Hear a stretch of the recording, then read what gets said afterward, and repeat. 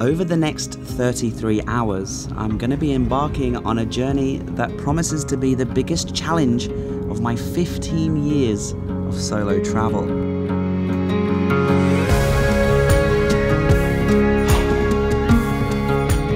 This is Mount Kinabalu, a majestic titan soaring above 4,000 meters, the tallest peak in both Borneo and Malaysia.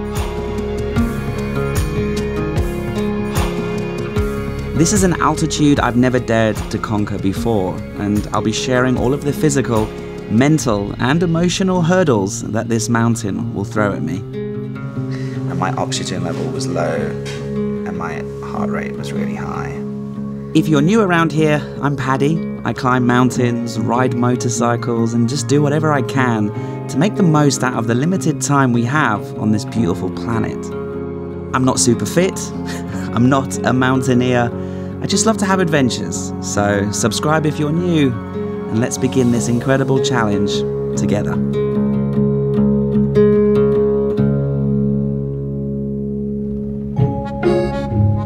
So, because this mountain is protected and has a very limited number of climbers allowed per day, you have to book ahead in advance and through special companies. I went through a company called Borneo Calling and it included a pickup from my hotel in a minivan. They organize all your permits, they hook you up with guides. So after watching this video, if you have the courage to attempt Mount Kinabalu as well, check out the links in the description and book through Borneo Calling. This isn't a sponsored thing, I did pay, but you know, I just wanted to promote that this company did a really good job. So anyway, let's begin things down at the start of the trail. Take a deep breath and let's Quite begin. with the weather. Okie dokie then. And welcome to what I'm hoping won't be, but probably will turn out to be 33 hours of hell. so behind me there, you can see it. It is quite magnificent. Mount Kinabalu, tallest mountain in Malaysia, tallest mountain in Borneo, 4,000 and something meters. And uh, look, I'll be honest with you, right? I'll be absolutely honest with you. I have not slept for three days. I've been getting a few hours a night and waking up. Um, I'm going through a little bit of a mental situation, a little bit of burnout, a little bit of depression. I don't know what's wrong with me at the minute. Um, but I was really looking forward to this and I did nearly cancel three times. I really was this close to just getting on a flight and leaving and trying to reset. But I got some advice that said make the most of your time. So that's what we're to do. We're to make the most of it. We're to continue and finish on a high. And there was a very big surprise awaiting for you. Uh, if we make it to the summit, tomorrow morning there's an incredible experience. One of a kind. Guinness World Record type of stuff. And I'll explain later. But first things first, we've got six hours hiking up to base camp where I'll stay overnight, wake up at two in the morning to get to the summit and attempt the uh, surprise. Good luck. Yeah, you too.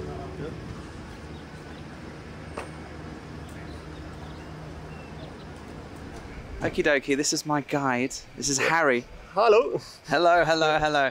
So, Harry, I'm going to ask you a couple of questions to help calm my nerves because I'm a little bit nervous. Yeah, sir. How is this climb on a, on a beautiful sunny morning like this? Will it be fun? Uh, yeah, the weather is good. The track uh, condition uh, is good, not slippery, so yeah, it's gonna be fun. Okay, Sure. I'm glad, I'm glad. So behind us is the map. I don't really care about the map. We're going up, we're going up. Yeah. So let's just go up, yeah? So, yeah, as you can tell, I was a bag of nerves going into this climb. You don't really see it that well on camera, but looking up at this gargantuan peak, you really do feel tiny, and that this climb is just going to be such a huge undertaking. And then, coupled with lack of sleep and an underlying anxiety spike, I was really trying to muster up as much positive energy as possible. Thankfully, my guide Harry was there by my side for every single step of the way, and that gave me a lot of reassurance. Are you from Sabah, Uh, I'm a local people here. In local village? Yeah. I was in this area last week or Uh-huh. two weeks ago, Yeah. and the weather was terrible, Yeah. and I was really uh, scared about the weather being bad for this climb. Uh-huh. I mean, it's so beautiful today, and fingers crossed it's going to be like that tomorrow. But uh, according to the forecast, yeah, this week will be uh, clear. And fingers crossed, yeah, the weather is not going to change. Because uh, normally when we have uh, yeah, a typhoon yeah, in both Philippines, Taiwan, uh, the tail of the typhoon will be Yeah. on the top of the mountain. And there's a typhoon right now Yeah. just passing over Taiwan, so weather is on its way. yeah. But uh, hopefully, take a couple of days. I don't know. Try not to think about it, Harry. Let's just enjoy Uh-huh. A nice leisurely six-hour hike uphill. Take a deep breath. Look around. Stay positive.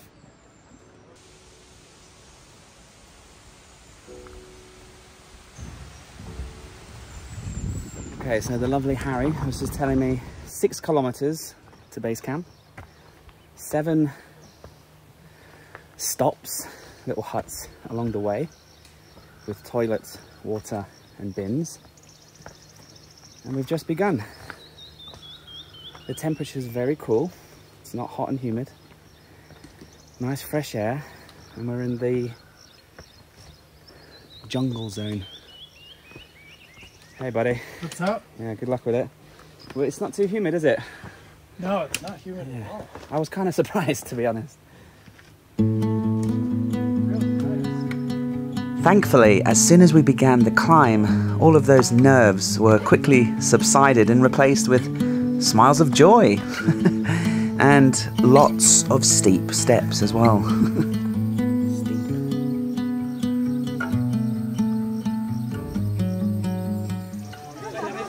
okay. One kilometre down, first rest station. Just get a quick drink, that's it, and keep going. I have to say, Harry is amazing. He's telling me so many interesting things. I've never really had a tour guide who can speak good English, has lots of information. He seems like a really nice guy.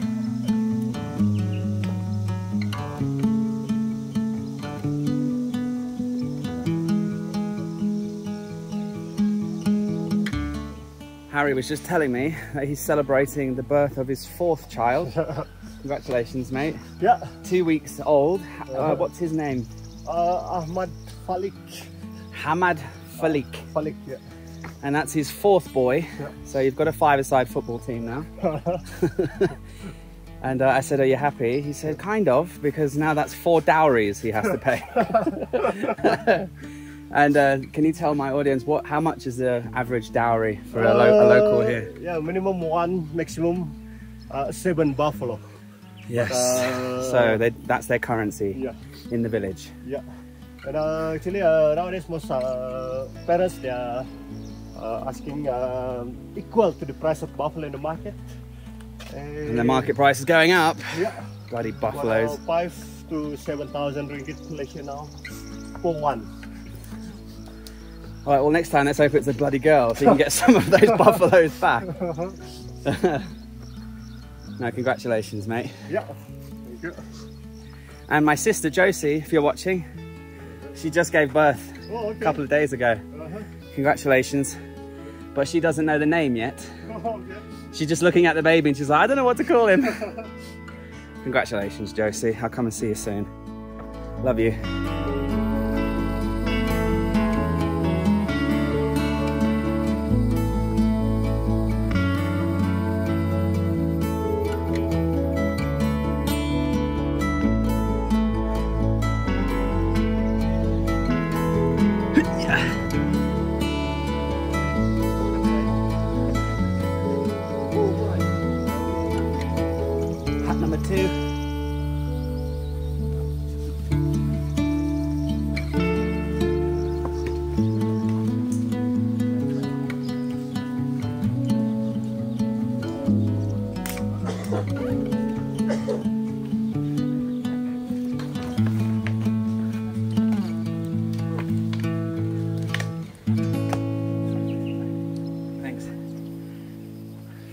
Hiking is such a like cluster of emotions.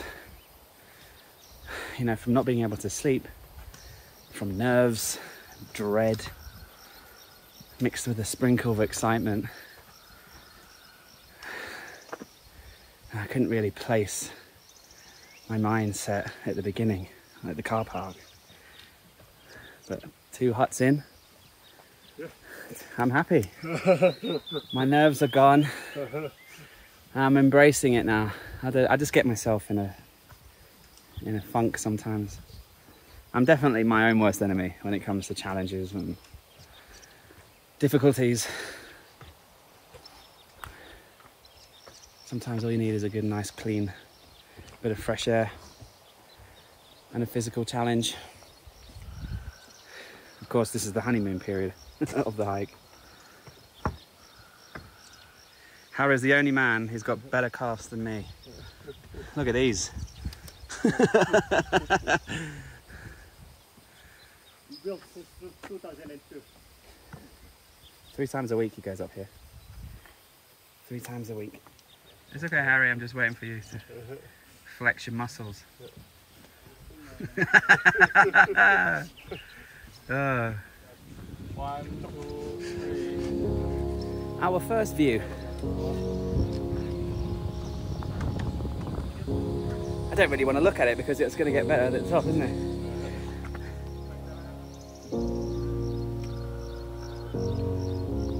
with the great weather and the gorgeous trail. And Harry, my fabulous guide, I was really on top of the world. And with each step and with each kilometer marker that passed us by, I felt happier and stronger than ever before.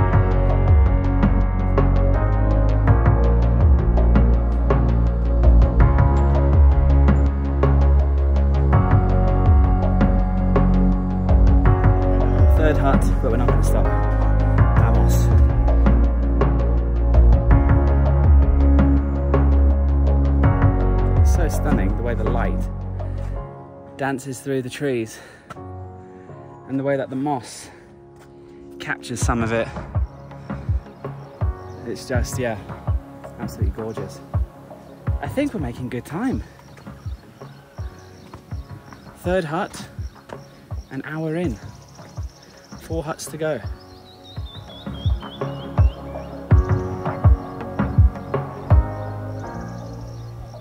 That bird song is incredible. That's the mountain taxi. Yeah. So, is, it, is that person injured or Uh, just too? no, just uh, too Okay. lazy to walk. So How much is it to get a lift? Uh, it's uh, depend, uh, but uh, yeah, they will be charged uh, according per kilo. Uh, according to your body weight, actually, 10, 10 ringgit per kilo going down. Going up is double. Let's say you are 80, then 800 per kilometer. yeah, 10 ringgit per kilo per kilometer. So it's very expensive, Yeah. and you have to be embarrassed uh, because uh. it's so. Oh god, that could be me. That could be me. Don't laugh. Don't laugh. My knee might give uh, away. I'll be like, "Can you call your mate? I need a lift." Bless him. I mean, he, I, he looked quite old, Uh, yeah, so he just probably gave up. Uh-huh. That's fair enough. We do have a Okay, 90 minutes in, we're halfway. Should we have a halfway high five? yeah. We're starting that trend. Uh, let's just get cracking. Harry, I find when you stop, About 300 meters to the next shelter. yeah, you cool down.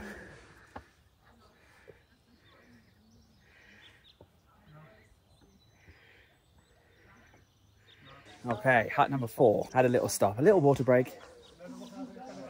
I'll see you at the top. Beautiful blue sky today. So lucky with the weather.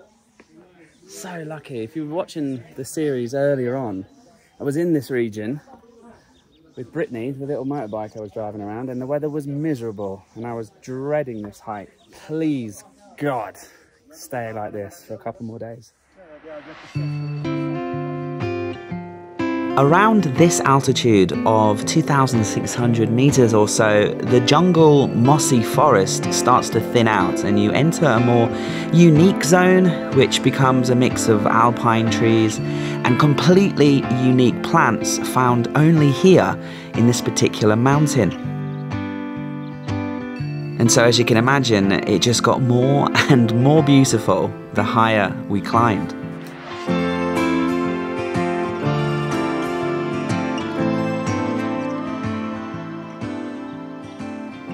So this is hut number five, and seems to be where most people are having their lunch. They do give you a lunch. I've got a lunch in my bag.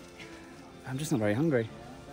The clouds start coming in and it just gets quite cold, so I'm soaking wet from the sweat. So just want to get cracking, really. I think Harry's in the hut. The hut's for the the guides. So I don't want to rush him. So maybe I'll just wait around, feed the squirrels.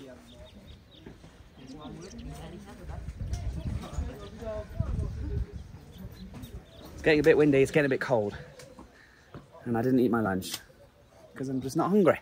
I'm also a little bit worried that it might rain. Let's get to the safety of base camp. Two more huts to go.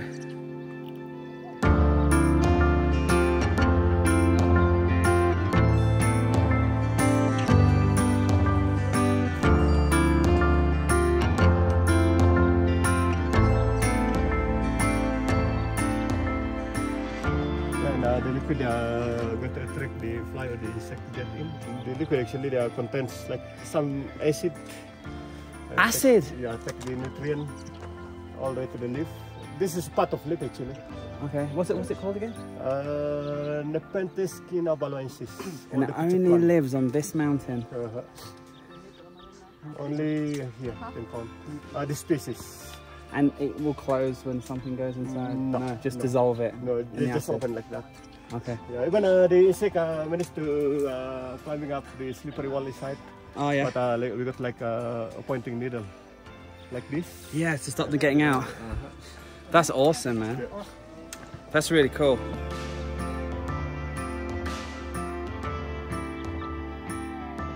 Starting to feel the effects of the altitude now, just in terms of shortness of breath. What was quite easy an hour ago is a little bit more difficult. How high do you think we are now, Uh, roughly? here roughly about uh, 2,800. So we're getting up there. And I'm just looking up at the blue skies, just so blessed so far to have the weather like this. I think that was one of the big sources of my anxiety before this climb and the stress was had, having seen the bad weather here during this trip and the, the way the mountain was getting battered by winds and rain and I thought, geez, is that going to be me? Thank you. The god of the forest. Uh, here we call it Aki. Aki's the god of the Uh, mountain. No, Aki means uh, our the spirit of the ancestor. Okay. Well, thank you, Aki. Love you so far. It's just so beautiful.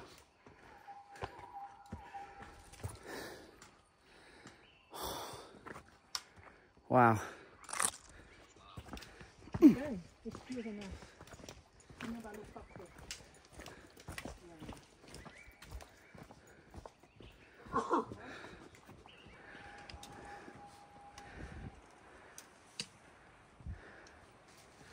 Hut number six.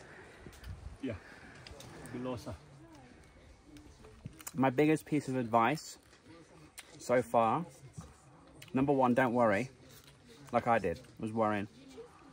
Number two, bring Haribo, because this is this is a lifesaver.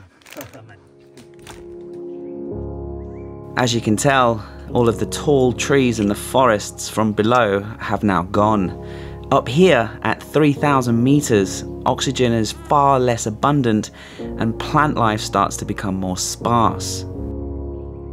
And of course, we could really start to feel it in our lungs. But still, regardless of the struggle, I feel good.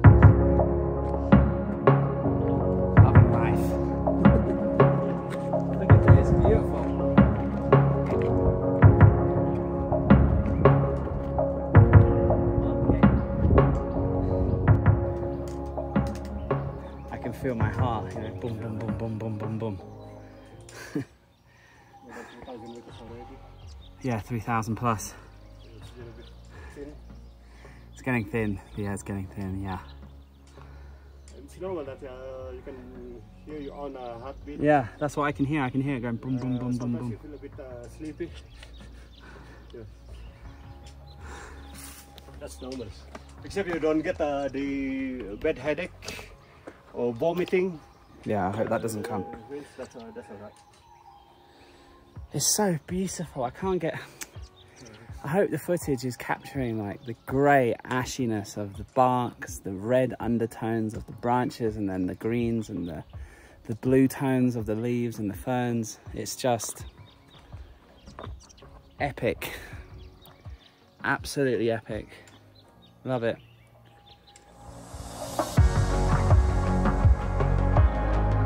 I don't know how this uh, day is going to continue being so beautiful because all around us massive clouds, big storm clouds too, in every direction, way higher than us too, coming this way.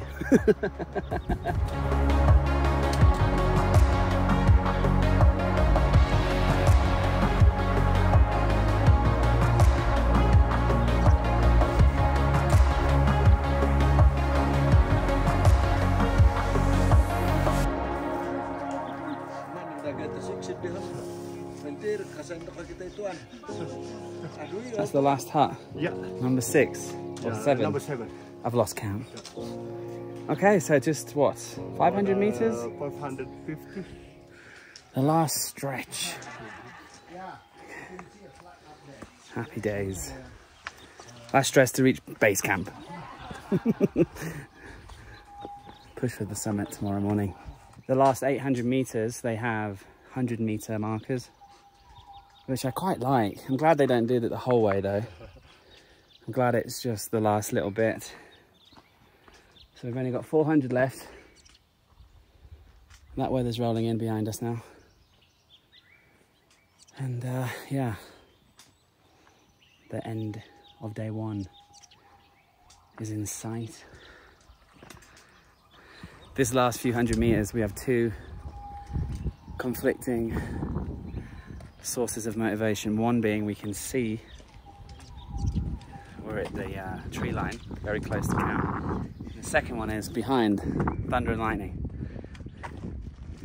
Distant storm, and we just had a little bit of drizzle. And it's coming this way. Oh no. it's just started to rain. So close. I knew this was going to happen. I knew we were going to get wet.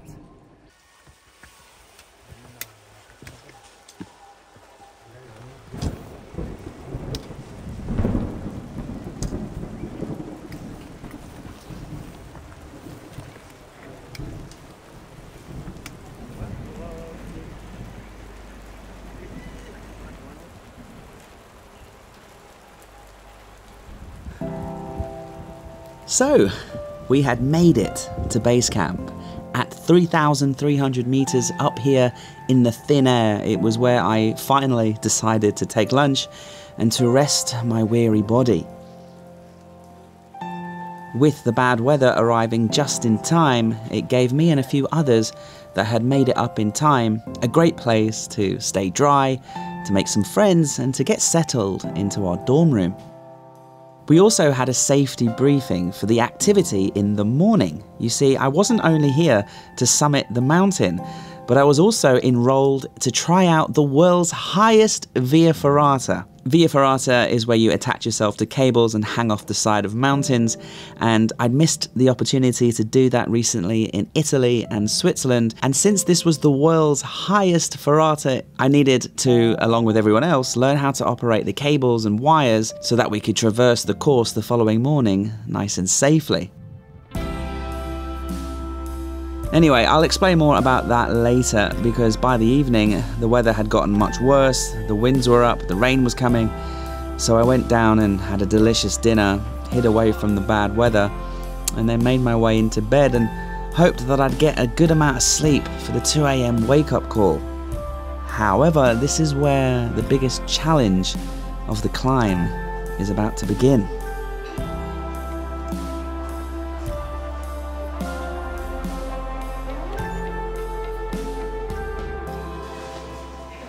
Altitude is no joke. So, last night, in good spirits, great dinner, just hanging out here in the common area with a couple of my new friends. We was just talking. My heart rate just wouldn't slow down, and I was like, just out of breath, just sat down. We were sat down talking for two hours, and I felt like I was on a treadmill. And my buddy has an Apple Watch, and he measured his heart rate, and he was like, "Oh my god, my heart rate's 90." And I said, "Can I, can I measure mine?" And I was 120. 120 heartbeat, sat down. Which then put me into a little bit of a spiral. Everyone went to bed and I, I went upstairs to speak to the staff. I was freaking out. I was having a little bit of an anxiety attack, to be honest. And they measured measured my blood thing, you know, with that little clip. And my oxygen level was low and my heart rate was really high. But I think the fact that I had like seven cups of tea to warm up and the caffeine didn't help, altitude didn't help, and then my anxiety didn't help. So the guy really helped me calm down. And it went down a little bit and I went to bed. I got some sleep. So I'm just gonna take it really, really slowly today. One step at a time. And not push it.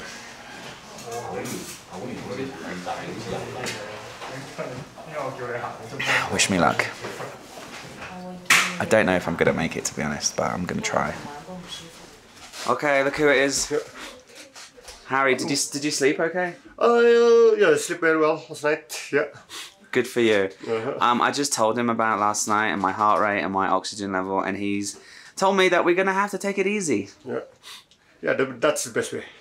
And if I feel worse, we're gonna go back down. But we're gonna try. We're gonna try. Now, what time is it now? It's uh, it's quarter to three. And uh, there's a, there's one checkpoint where we have to show our pass. Let me make sure I have my pass. How are the tune? Where's my pass? Okay, so I've got my pass. I've got my passport. You have to show your passport.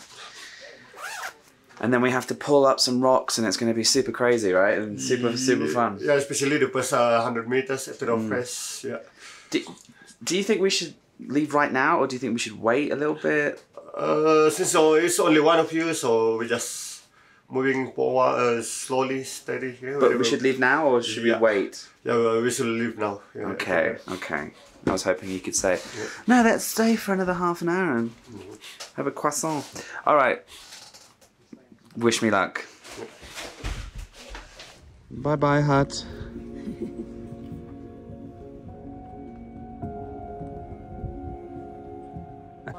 One hundred meters, not even one hundred meters. My heart is pounding. I'm gonna have to go so slowly, painfully slowly. I've just apologized to Harry. Everything's fine. Legs fine, back fine, headache gone. It's just my heart. Boom, boom, boom. And that's a symptom of acute altitude sickness, he told me. So I have to be really careful.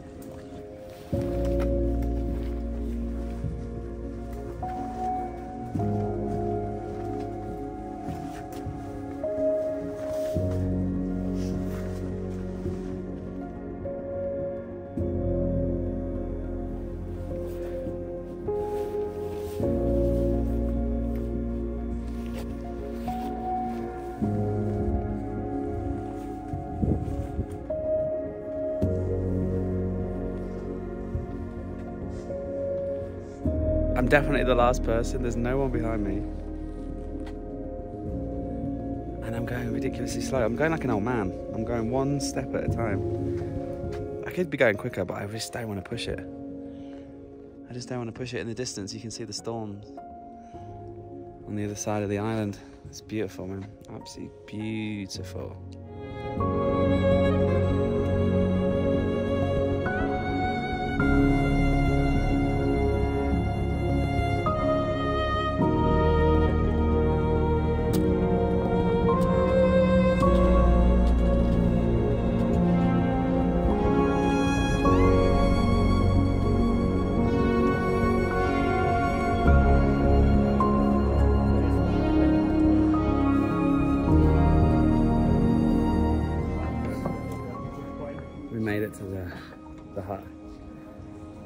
Is where they check your pass. Make sure you have all your paperwork. And then from here we have 1.6 kilometers to the summit. That was only 1.1 from the hut, from where we woke up. Um, but that, that, that last 10 minutes was so much fun. Scrambling across the rocks with the moonlight and the flags and the lights. And we managed to overtake a few people.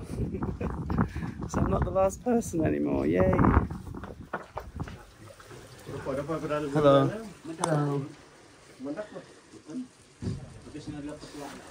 Okay, Okay, Harry, we made it with one hour to spare. Yeah. And uh, another 1.6 to go. Uh, the track was better. Let's do it. No fannying around today. Let's just crack on. I think going slow and being one of the last people really helped me. Because right now I just got a bit of a dodgy ticker, but I think we'll be alright. Yeepa! Okay. Alright. Alright, let's go! I've been fortunate enough to see some incredible sights during my travels, and I've climbed some beautiful mountains as well. But climbing up this beast in the full moonlight, just bright enough to cast silhouettes of the stronger climbers ahead, was pure magic.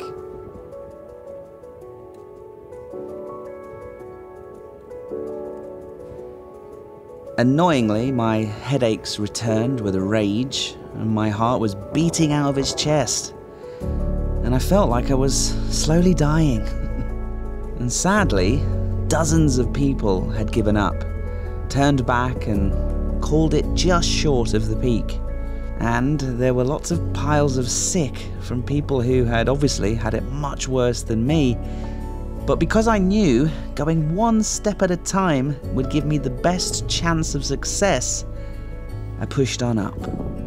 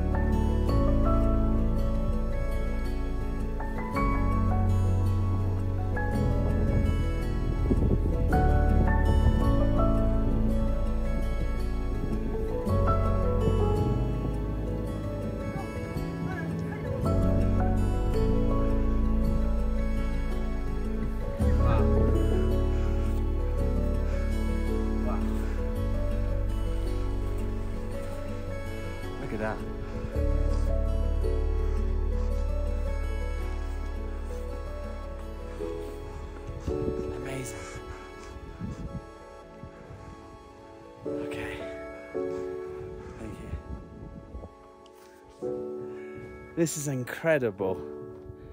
Absolutely mental. Full moon, Venus and the stars. Incredible, incredible, incredible, incredible. So close. If you have a friend who want to climb here, Got 100 meters to go. Everyone's coming down. It's going to be a little bit busy. Fist bump for the last 100. Alright. 4,000 meters, I got a headache. My heart's beating out of his chest. But we're getting up there.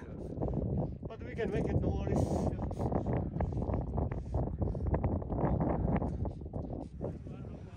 This last 100 meters is absolute torture. Two steps and you're out of breath. Your heart's just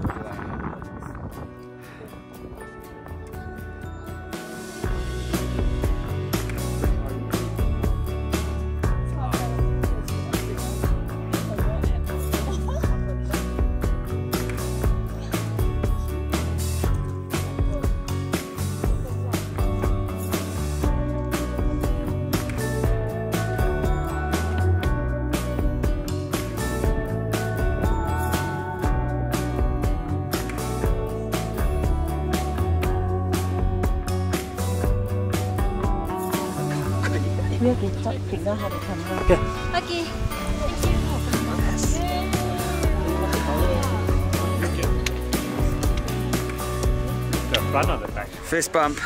All right, we made Summit it. fist bump. We made it, man. 4,000. 4,095.2 meters. Uh, and Actually, this mountain is still growing for 2 millimeters a year. And the last measurement of this mountain been done in 1995. Maybe they are more high up actually. Man, it is such a beautiful, beautiful moment. But we don't want to linger because everyone else wants to take a picture now.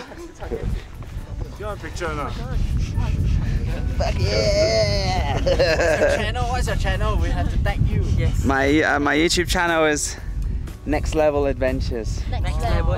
Yeah. Every time I say Paddy Doyle, they go, what? Paddy, uh, that's referred to the uh, to the race here. Incredible moment to get up here, but uh, it's freezing. I can't breathe. And I just want to get back down. it's a funny old game, isn't it, climbing a mountain? So, that was it. We had done it. I could not have made it up without Harry, and I could not have achieved this feat without the willpower of you guys watching at home. If you have enjoyed today's adventure, please let me know in the comments and give me a challenge of another peak, and maybe I'll take you up on that one too.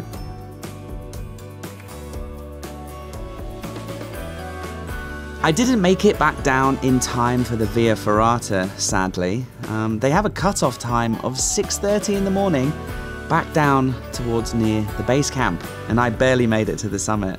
So I just didn't have time to do both. Of course, the Ferrata looks incredible and it would be so epic, and it was really unique thing to try and do for the channel. So maybe I'll come back and try again in the future when the summit is no longer my main priority. But anyway, Mount Kinabalu is complete. The highest peak in Malaysia has been conquered, and this mini series to Borneo is now over. Thank you so much for watching as always, and I'll see you next week from the incredible island of Sri Lanka.